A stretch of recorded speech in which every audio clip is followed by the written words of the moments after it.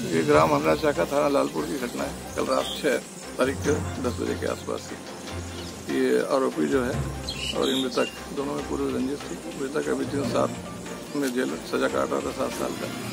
छूट कर आया था महीने में जब एक माह पहले करीब। किसी पुराने रंजिश को लेकर ही आरोपी महत्रू के द्वारा हत्या कर दी गई और कुछ और संदेहों के है।